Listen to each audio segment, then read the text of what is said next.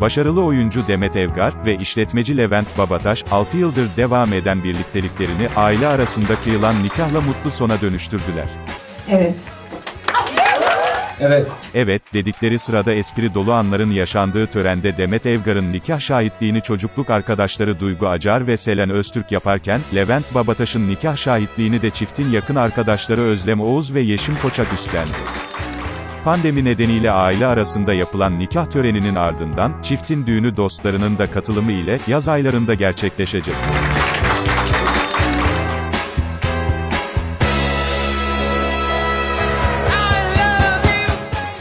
Evet. Evet. Biz de Magazin Rüzgarı ailesi olarak, kendilerine mutluluklar diliyoruz.